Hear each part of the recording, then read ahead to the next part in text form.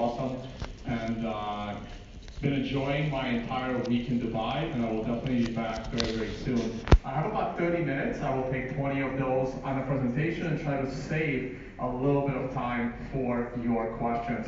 Uh, my name is Tone Vays. I come from the traditional Wall Street environment. I spent about 10 years working at companies like Bear Stearns, JP Morgan, MSCI, uh, mostly in the risk modeling space, but also uh, on the trading side as well. I, I left those jobs to be a self-employed trader and uh, really fell in love with cryptocurrencies and Bitcoin. And now I travel around the world and try to educate people. You can find my YouTube channel just under my name, Tone Vays, and I organize three events. Hopefully we'll bring a few of them to Dubai. Unconfiscatable, the Financial Summit, and Understanding, uh, Understanding Bitcoin, website understandingbtc.com. All right, there we go, it's working. Okay, so I just want to briefly go through the history of Bitcoin, and then uh, we're going to talk about what makes Bitcoin so special in relation to the traditional environment. Uh, this has a white background, I hope everybody can see it, but otherwise maybe we can dim the lights a little bit if possible. And uh, what you see here in the background uh, is the entire price history of Bitcoin up to a couple of months ago. All right, I think I have to click that. There we go. Okay. Uh, Satoshi Nakamoto released a white paper in, uh, on October 31st, and the first Bitcoin transaction took place uh, a few, about a week, uh, about a month after that. And what he did was he solved a problem in computer science. It was a problem that many people tried solving and gave up, but eventually uh, he solved it. It was the solution to a double spending problem. We've all, we all send digital messages all the time. You send text messages, you send pictures, um, you send Word documents. But prior to what Satoshi invented, that digital data was always copied. You would send a copy of a picture, you would send a copy of a text message because you retain an identical text message. He found a way to send data and the sender loses possession of that data. And he knew that this was going to be so powerful that the best application for it would just be digital money to challenge the traditional financial system. And in this presentation, we're going to talk about how it challenges the financial system. Oh, boy.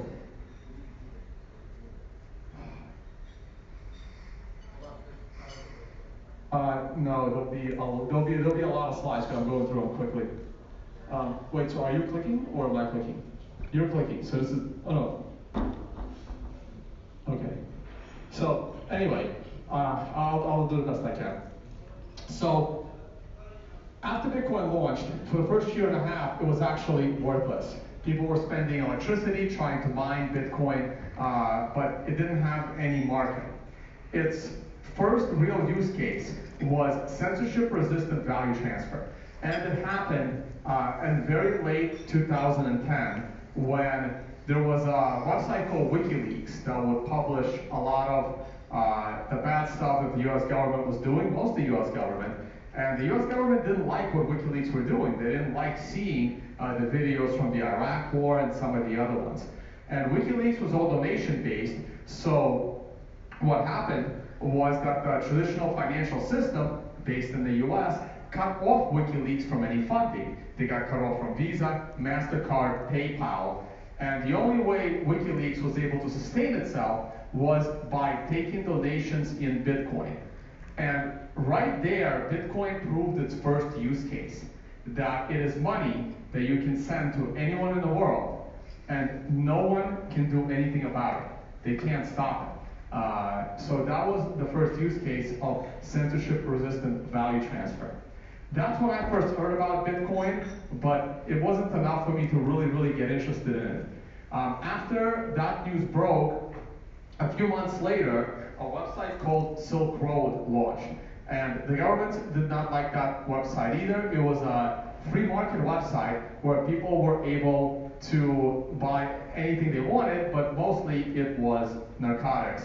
And uh, that was Silk Road. It's part of the history of Bitcoin as well. Again, another use case of censorship-resistant value transfer. It was a payment that nobody could stop.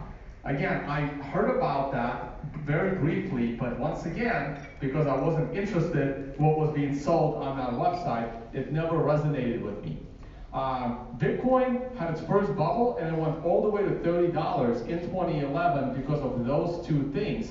And one of the politicians in the US went on television and complained about the Silk Road website. So here he is pulling up the Silk Road website, showing what you can buy on there, and basically doing a tutorial how people can buy on there by uh, saying that you have to go through Tor, and then you have to use this currency called Bitcoin, and then you can buy uh, certain things that are illicit. And that was probably the greatest tutorial on how to use Bitcoin ever, and he was able to do it in about 30 seconds. And this presentation is 30 minutes, so it kind of shows you the big difference. So sometimes this works and sometimes this doesn't. There we go. Okay. Uh, so that drove Bitcoin to its first bubble. Now we come to 2013. 2013 was probably the best year for Bitcoin ever. 2013 proved a very different use case for Bitcoin. And this particular use case was the one that got me out of my seat while still working a very intense job on Wall Street saying, whoa, this is not good. And that use case was from Cyprus in the European Union when in uh, March of 2013, the Cyprus banks shut down and the government confiscated 50% of everybody's money above 100,000 euro. And that actually took place. So when that happened, that's when it hit me. Wait a minute. So you earned money legally, you weren't using Silk Road, you weren't doing something illegal. You earn money, you saved it in a bank, you were saving for a business, you saved 200,000 euro, and all of a sudden, here comes a bank bail-in, and 50,000 of your 200,000 euro at the bank, the government just takes for themselves because the banks are in financial trouble. So that's what happened in Cyprus. And that's when I realized that there needs to be an unconfiscatable asset. And that's what, uh, and here's another example of that, uh, of Bitcoin uh, being useful. So in America in 2014, and it was the last time somebody was allowed to do the statistic, law enforcement confiscated more money from Americans than burglars. So more money was taken by the police from people than uh, bad people, than robbers stealing it from their home. Okay? So again, when the money is in Bitcoin, uh, Bitcoin becomes an unconfiscatable asset. And, and it's awesome that I was able to secure unconfiscatable.com. And that is something we've never had before. People have never owned anything that has been unconfiscatable. Uh, if you own real estate, you know, another country invades your country, they can take it. Or uh, your country has a way to take it. Uh, your car, your home, your money at the bank, as was proven in Cyprus. But not Bitcoin, because you can store Bitcoin in your head. And uh, you don't have to tell anyone you even have it. And that is probably its most powerful feature. However, if you don't properly secure it, uh, or you leave your Bitcoin at a Bitcoin bank, then it has the same properties as the traditional money because now someone else is basically holding on to your Bitcoin for you, and now they can take it or they can be hacked. Of course, you could also be hacked. In the case of the Silk Road, that Bitcoin was not very properly protected. So when the government shut down Silk Road, they were able to confiscate 144,000 Bitcoin, which they sold for $48 million. Had they waited a couple of years, that would have been worth 2.4 billion. And had this article waited about a week, that would have been about 4 billion because it was written right at the top of the 2017 bubble. Okay? So, so that does take us uh, to the uh, to the bubble of 2013, uh, which at the end of it, there was a big failure of an exchange called Mt. Gox. I'm not going to get into uh, the details of that exchange in this presentation as, as to how it went down. Uh, so we're just going to move on a little bit further. And Bitcoin went through a bit of a bear market uh, until the next big event, the, the next big financial event in 2015, which was the failure of the Greek banking system. And this failure of the Greek banking system put both of the properties of Bitcoin on display, unconfiscatable and censorship resistant. Because when the Greek banks shut down, people were not allowed to touch their money. Uh, they were only allowed to withdraw 60 euros per day. 60 euros per day, right? So we can multiply that by four. So imagine only being allowed to withdraw 250 dirham per day from an ATM machine. No matter how much money you have in the bank, that's all you are allowed to take out. And the rest, the government is holding on for you very, very safely. Uh, after a couple of weeks of that, they decided to allow people to withdraw 420 euros for the entire week. So what happens that Monday morning? Oh, next slide. So what happens that Monday morning when you're allowed to withdraw 420 euros? Everyone runs to the ATM machine in order to withdraw their money. And these pictures And these pictures, uh, as you can see up there and down here, are no different than what has been happening throughout history with the financial system. Uh, the pictures up there were from the uh, United States in 1907, uh, the, probably the biggest financial crash the United States had was the 1907 crash, led directly to the creation of the Federal Reserve to prevent these kinds of crashes, which ended up leading to the Great Depression in 1929, so that didn't help. Uh, that middle picture is Germany, uh, where the money was more useful to burn for heat instead of using it. Uh, 1934, when the US removed the gold standard uh, from the money, same thing, people wanted to burn the money. And we go full circle to back to color photography of Zimbabwe, where they went through their hyperinflation as well uh, with the destruction of their money. Since I already mentioned uh, the separation of the US dollar from gold, uh, let's go to what happened in the United States in 1933, because this is the third very critical property of Bitcoin uh, that allows it to compete with the US dollar. In 1933, all of the gold was confiscated, but it was easy to confiscate that gold because no one was walking around paying in gold. The gold was sitting at the banks while the US dollars that people were using were backed by gold. So at the time, uh, the government did announce that there was a $10,000 fine and up to 10 years in prison if you did not turn in your gold for uh, to the government because it was illegal for people to own gold. They never actually went around to confiscate it from individual people.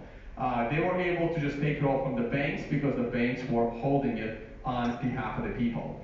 And there's a really good book in the crypto space called The Bitcoin Standard that describes uh, all of it well. I'm just going to read a couple of quick things from it. People, if people chose a hard money with a high stock to flow ratio as a store of value, their purchasing of it to store it would increase demand for it, causing a rise in its price, which would incentivize its production to make more of it. But because the flow is small compared to existing supply, even a large increase in new production is unlikely to depress the price significantly. Hard money, by taking the question of supply out of the hands of governments and their economists, would force everyone to be productive to society instead of seeking to get rich through the fool's errand of monetary manipulation. International economic summits are convened where world leaders try to negotiate each other's acceptable currency devaluation, making the value of the currency an issue of geopolitical importance. For every other money, as its value rises, those who can produce it will start producing more of it, whether it's rhinestones, seashells, silver, gold, copper, or government money. Everyone will have an incentive to try to produce more. Bitcoin is the hardest money ever invented growth in its value cannot possibly increase its supply. It can only make the network more secure and immune to attack, and it makes Bitcoin fundamentally different from every other money. So, in quick summary, the three properties of Bitcoin that allow it to compete with the traditional financial system today are unconfiscatability, censorship resistance, and the fact that it, you can't inflate it, you can't print more of it. Uh, this year alone, 23% of all US dollars have been printed in the, since uh, COVID happened. With Bitcoin, you could, would not be able to do that. Uh, several many governments around the world just shut down the economies and paid people not to work. With Bitcoin, you can't do that. You can't just print Bitcoin. Uh, so the economy, the world economy would have kept functioning. Uh, yes, we would have had to deal with COVID. Yes, people would have had to be careful. But it was crazy when the government says your business is not essential, but his business is essential. So he can work and you can't. And of course, Amazon has the big advantage because they deliver to your house. Meanwhile, a small business needs people to walk into the store. Now, uh, let's skip that. Let's skip that because I'm low on time. One more. Okay.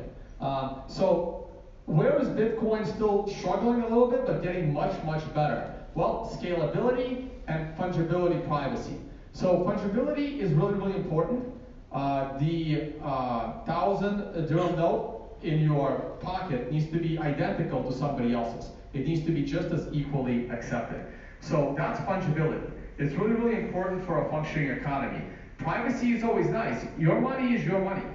Uh, no one should control how you want to spend your money that you have earned honestly and legally. And scalability is the ability to use Bitcoin for small transactions. This has always been one of its challenges, but it is getting significantly better um, over time. I'm going to skip a couple of slides that talk about that. Uh, where is Bitcoin still struggling? It's obviously still struggling with volatility.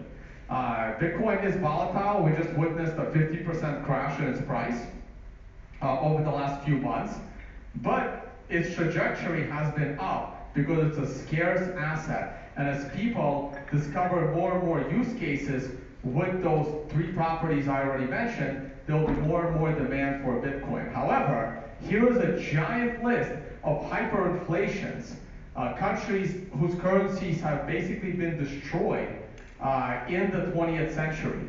And since this book was written um, in 2007, oh, can we go back one?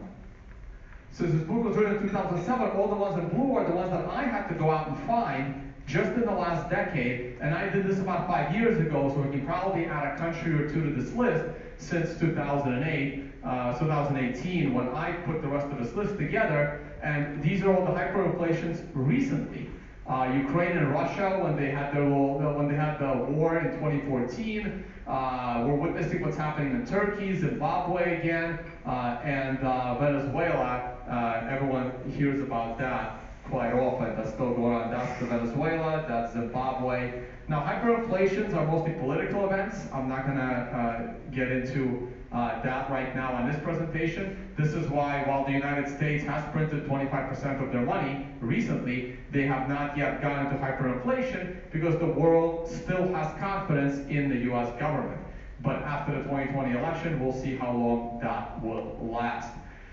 Uh, there were also significant shocks in other currencies, like when the British uh, decided to vote for Brexit, there was a 10% shock in their currency in one day. When the Swiss peg broke against the euro, that was a 33% shock in a European currency in a single day. So we can't say that Bitcoin is the only volatile currency there. There are numerous examples of others which are equally as bad. Bitcoin's biggest problem, however, is its security.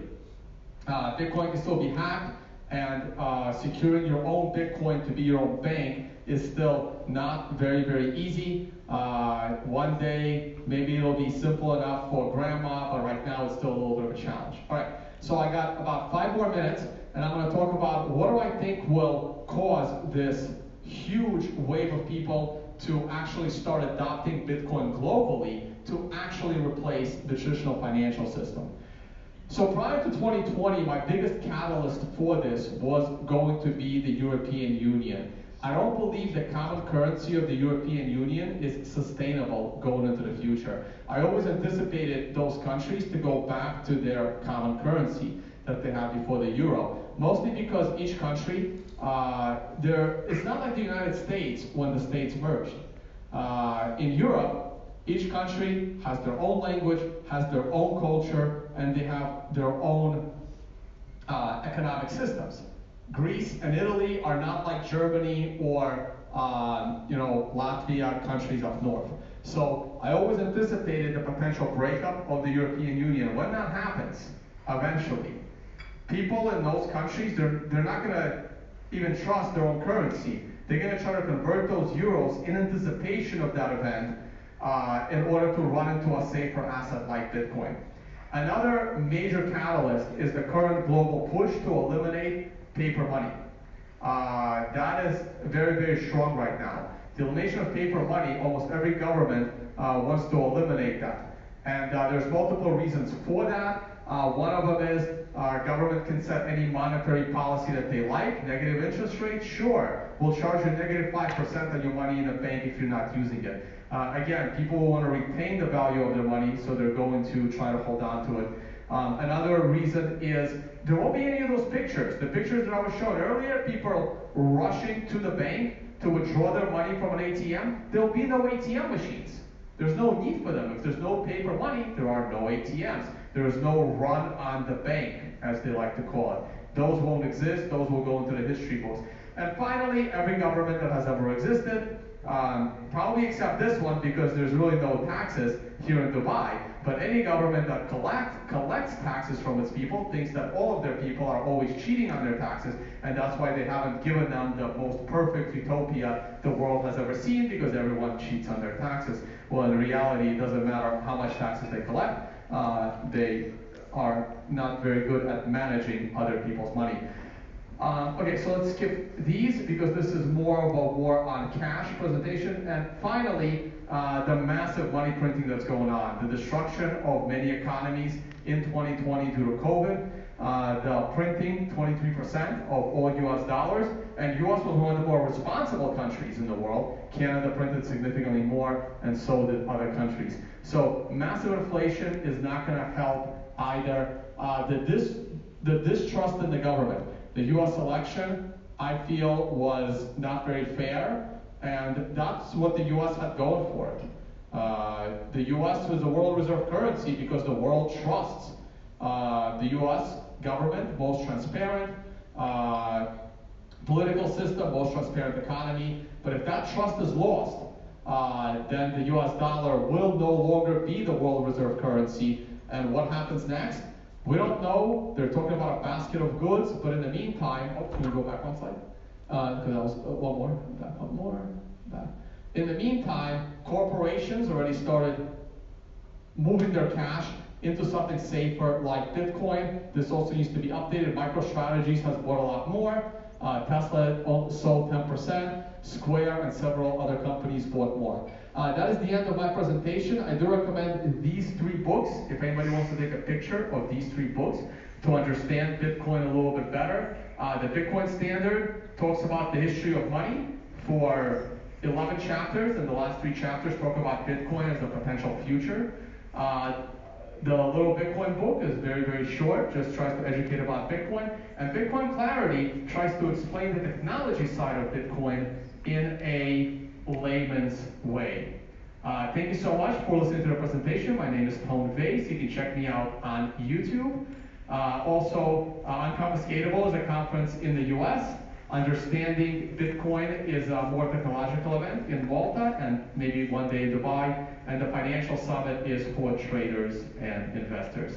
Uh, thank you. I don't know if I have any time for questions. I may not. I will be here tonight after take a young lady to the airport, and then uh, we'll be back, and um, hopefully I'll still get to see everyone and talk to you guys uh, a little bit later. Thank you very much. He's going to the airport. He'll be back for questions. Thank you very much. All right, so